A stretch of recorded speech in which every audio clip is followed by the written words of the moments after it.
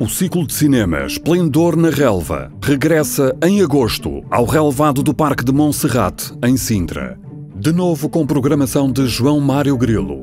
Esta terceira edição é subordinada ao tema dos heróis, com realizadores como John Ford, Alfred Hitchcock, Stanley Kubrick, Woody Allen, Martin Scorsese e Steven Spielberg.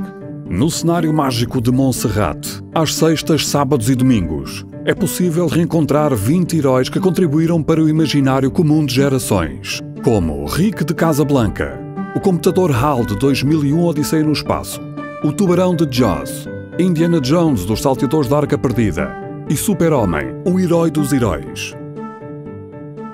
Mais informações em parquesdecintra.pt